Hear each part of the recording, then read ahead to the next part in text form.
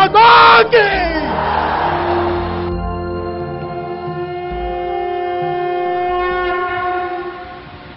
ఒక జన సైనికురాలుగా ఒక వీర మహిళగా ఒక జన నాయకురాలుగా జనసేన నాయకురాలుగా మీరు వచ్చేసిందన? ఏమి సందేశం ఇవ్వాలనుకుంటా ఉంటారు యువతకు కానీ మహిళలకు కానీ ఈ జనసేన పైన మొగ్గు చూపుతా ఉండే ప్రతి ఒక్కరికి ఏం సందేశం ఇవ్వాలనుకుంటున్నారు? భయపడుతున్నంత కాలం భయపెడుతూనే ఉంటారు సార్. మన సమస్యలు మన వరకే పరిమితం అవుతాయి మన సమస్యలు పరిష్కారం అవ్వాలంటే ఎవరి సమస్యల కోసం వాళ్ళు బయట వచ్చి పోరాటం జరిపినప్పుడు సమస్యలు పరిష్కారం అవుతాయి. ఈరోజు నేను జనసేన మహిళగా చెప్తున్నాను. మీ సమస్యలు పరిష్కారం చేయాలంటే పవన్ కళ్యాణ్ ఒక్కడే నిలబడితే సరిపోదు. మీ సమస్యల పరిష్కారం కోసము మీరు కూడా బయట వచ్చి పోరాటం జరిగినప్పుడు మాత్రమే సమస్యల పరిష్కారం అవుతుంది. సమాజంలో మార్పు వస్తుంది. మార్పు మార్పు అని అడిగినంత మంది సరిపోదు. ఆ మార్పు అనేది ఫస్ట్ మీ మైండ్లో వచ్చి మీరు బయట వచ్చినప్పుడే మార్పు అనేది జరుగుతుందని నేను ఈ విధంగా తెలియజేస్తాను మొట్టమొదటిగా నేను చెప్పేది మన ఒక సమస్య వచ్చినప్పుడు మన ఇంట్లో కానీ బయట కానీ పక్కన కానీ మొట్టమొదటగా మనమే ఆ సమస్యకి పరిష్కార దిశగా వెళ్ళాలి. మన వెనక కూడా ఒక ధైర్యం ఉంది. అది పవన్ కళ్యాణ్ ఆ ధైర్యాన్ని కూడా చూసుకోవద్దు మనం. ఒక సమస్య సృష్టించద్దు కానీ సృష్టించుకున్నాక ఒక వచ్చిన తర్వాత అదే వచ్చి పడిన తర్వాత మనము దాన్ని పరిష్కార దిశగానే చూడాలి. మొదట సామధాన దండోపాయం అన్నట్లుగా మొదట పరిష్కార దిశగానే వెళ్ళాలి మనం. ఎప్పుడు కానీ సమస్యకి.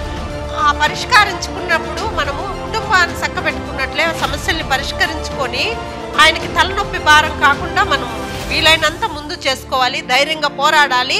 ఆ పోరాట పటమి అనేది మనలో నుంచి రావాలి.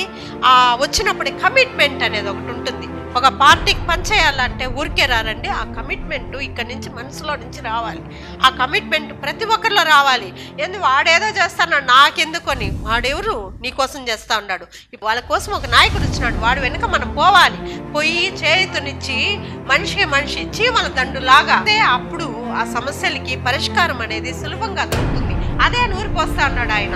మీరందరూ ప్రశ్నించే ధైర్యమే జనసేన నుంచి వచ్చింది.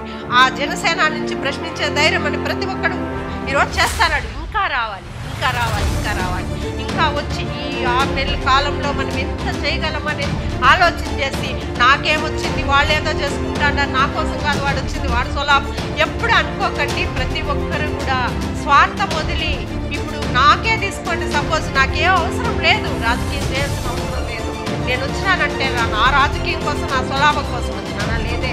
అందరూ ఆయనకు ఒక సాయం చేద్దాం మనము ఆయన ఒక మంచి ఉద్దేశంతో వచ్చినాడు అనే ఉద్దేశంతో నేను బయటకు వచ్చాను అదే విధంగా ప్రతి మహిళ కూడా ప్రతి యువకుడు కూడా ప్రతి ఒక్కరు కూడా తన పని పక్కన పెట్టుకొని సమయం దీనికి స్పెండ్ చేసి కలిసికట్టుగా పనిచేస్తే ఖచ్చితంగా జనసేన విజయం రెండు వేల పంతొమ్మిదిలో ముఖ్యమంత్రి అవుతాడండి పవన్ కళ్యాణ్ గారు. ఇది మన కళ్ళారా చూడొచ్చు.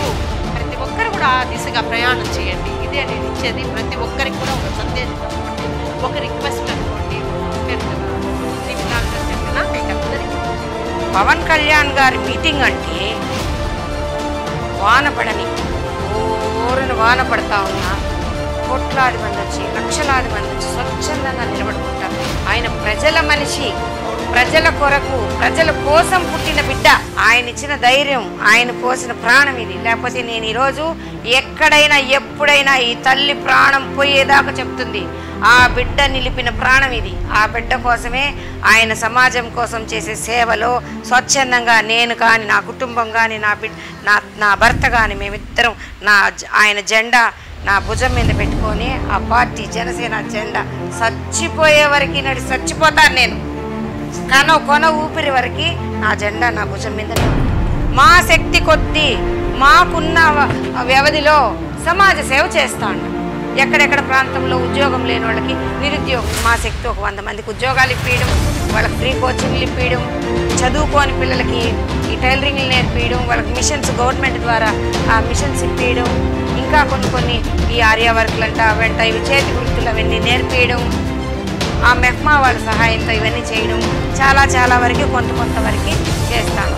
దాంట్లో వాళ్ళు వంద మందికి ఇస్తే వంద మందికి ఇస్తే ఈ ఒక పాయింట్ వాళ్ళు వంద మందికి ఇస్తే దాంట్లో ఇరవై మంది పదహైదు మంది సెలెక్ట్ అవుతారు.